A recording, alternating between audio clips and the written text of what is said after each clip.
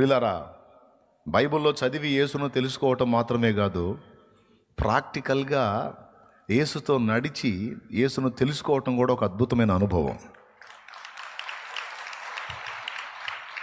Praise the lord గత రెండు వేల రెండు ఇది రెండు వేల ఇరవై నాలుగు అంటే ఎన్ని సంవత్సరాలండి? ఎన్ని సంవత్సరాలు? ఇరవై రెండా? ఇరవై ఎనిమిదే? ఎవరు అందరు నోట్లో నోట్లో కొనుక్కుంటారు ఎందుకు చెప్పండి పెద్దగా? ఇరవై ఏడా? ఇరవై ఐదా? రెండు వేల రెండు రెండు వేల ఇరవై నాలుగు మధ్యలో ఎన్ని సంవత్సరాలు ఉన్నాయి?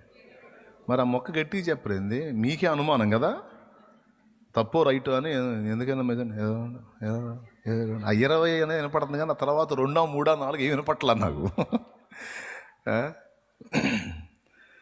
ఈ ఇరవై రెండు సంవత్సరాలుగా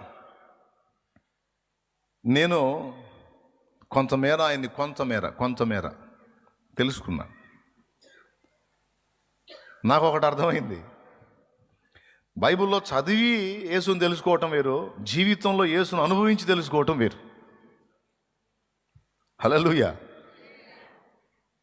బైబిల్లో చదువుతారు కొంతమంది బైబిల్లో తెలుసు. మార్తా తెలుసుకున్నట్టు.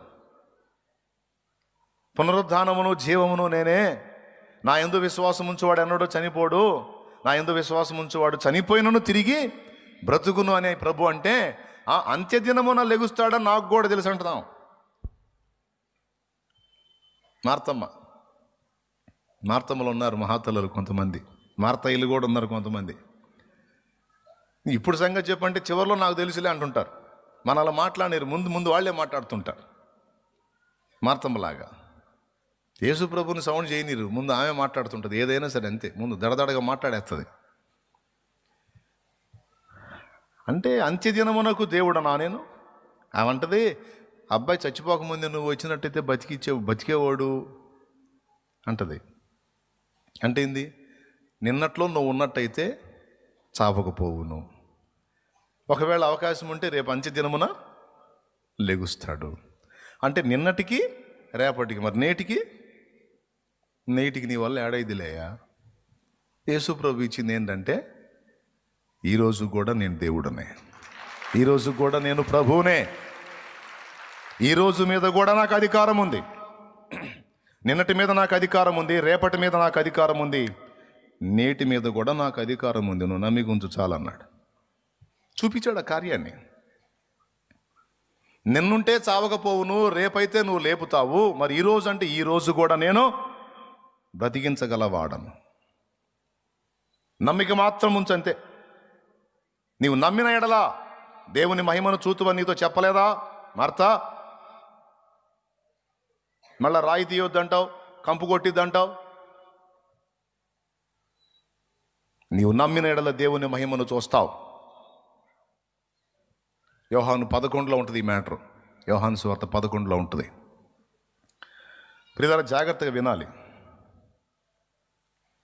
ప్రభువుని మనం తెలుసుకునే స్థాయిని బట్టి మన విశ్వాస పరిమాణం గ్రోత్ అవుతుంది.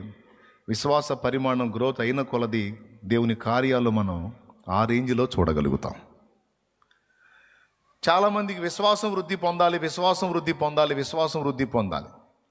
పౌలు అంటాడు మొదటి కొరింది పత్రిక పదమూడో అధ్యాయము మొదటి వచనం నుంచి కానీ మనం చూడగలిగితే చూడండి మొదటి కొరింది పదమూడు ఒకటి నుంచి మనుషుల భాషలతోనూ దేవదూతల భాషలతోనైనను నేను మాట్లాడిన ప్రేమ లేని వాడనైతే మృగడి కంచును గణగణలాడు తాళమునై ఉందును. ప్రవచించు కృపావరము కలిగి మర్మములనియు జ్ఞానమంతయు ఎరిగిన వాడనైనను. కొండలను పెకలింపగల పరిపూర్ణ విశ్వాసము గలవాడనైనను చాలు. కొండలను పెకలింపగలిగిన పరిపూర్ణ విశ్వాసం అనే మాట మాట్లాడాడు.